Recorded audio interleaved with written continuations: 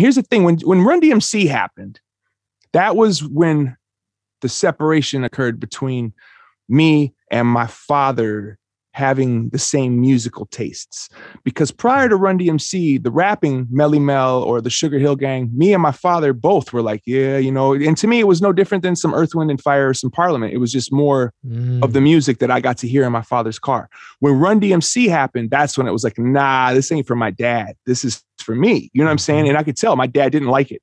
He was, why are they yelling at me? You know, I'm banging on, you know, and, and I'm like, cool, that's good. That's mine. You mm. know what I'm mm. saying?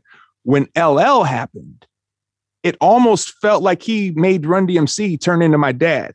It was almost like when LL happened and this younger, super hungry, uh, very technical, very technical rhymer started rapping, I was like, whoa, this is for me. Run DMC, that's that's old people music all of a sudden. You know what I'm saying? Like yes. that, and it's it's it's crazy. And that's one of the thoughts I had last night when I was thinking about this. It was like, well, what was it about LL? And I was like, so he like Run DMC already felt like, okay, this is for me, but LL was just even more of a a cute look and a cute angle of it. It was like, mm. this is really what I'm all about. Like I still loved Run DMC, but it almost felt like now these old men are yelling at me, telling me what to do. You know what I'm saying? Like, it, it, yeah. whereas LL was telling me, you know, he he had middle fingers up, and he was like, you know, he he was to me hip hop.